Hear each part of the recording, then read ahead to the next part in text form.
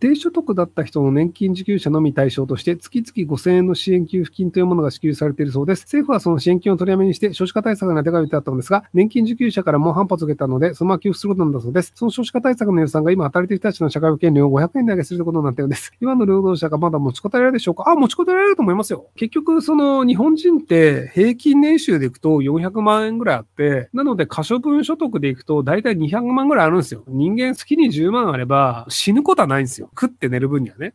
買いたいとか、携帯電話でソシャゲをしたいとか、カラオケに行きたいとかになると、まあそれはそれで大変なんですけど、寝て食って水飲んでぐらいだったら死なねえよっていうので、なので、あの、絞れるんだったらいくらでも絞れるよねっていうのが、まあ日本の自民党と公明党がやってることなので、なので普通に絞り上げられるんじゃないですかね。日本っていい国だよねっていうので、僕誠にそう思うんですよ。日本って金持ちが住むにはめちゃくちゃいい国なんですよ。フランスとかってまず役所がきちんと働かないけど、日本って役所って丁寧に働いてくるし、で、電車が lá. E 分が遅れるとかもうないぐらいにちゃんと動くじゃないですか。フランス電車10分来ないとか、今日は電車やりませんとか結構あるんですよ。はい、今日電車終了みたいな。事故ったから終了とか、ストだから終了とかで、なんかもう空港行こうとしてるのに電車終了っすか？みたいなのが結構あるんですよ。で、まあそんなもんだよねっていうのは日本ってほぼないじゃないですか。例えばじゃあスーパーとかで、これどこに置いてありますかってレジの人に聞くと、大体教えてくれるんですけど、アメリカとか他の国とかだと、知らん俺の仕事レジだから知らないって言われて終わるんですよ。掃除のじさんとかに聞いても、親切な人だと教えてくれるんですけど、掃除の人は、あ、俺掃除だから知らない。わかんない。っていうので、要はその、お店の人なんだからお客さんが何か言ったら、そのお客さんの要望を叶えるべきだよねっていう感覚を、日本人って多分95%ぐらいの人は持ってるんですよ。アメリカとか、そのフランスとかヨーロッパの人たちって、掃除の仕事で雇われている。レジの仕事で雇われている。品出しの仕事は俺の仕事ではない。なので、自分の決められた仕事の範疇のことはやるけど、そうじゃないのは俺の仕事ではないよっていうので、普通にそれは善悪とか親切とか悪意ではなくて、それ俺の仕事じゃないからっていうのでことなんですよ。なのでそれと一緒で、レジにすごい行列があった時に、なんか多少残業してしまう日本人って言うんですけど、フランスの前とかだと、ここで列、はい終了、はい、他の列行って、みたいなので、俺は17時に帰るで終わるんですよ。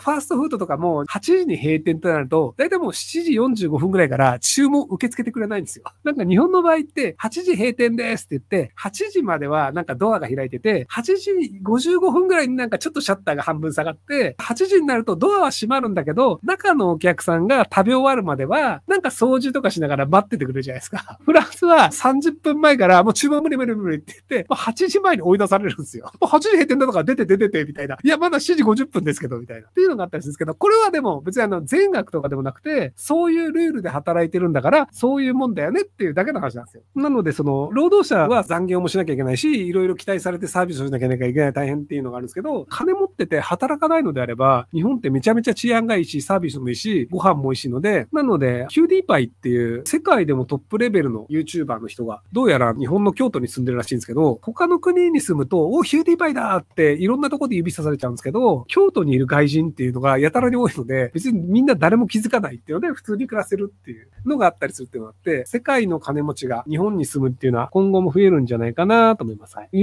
1億登録まで行ったんだ、ヒューディーパー。すごいね。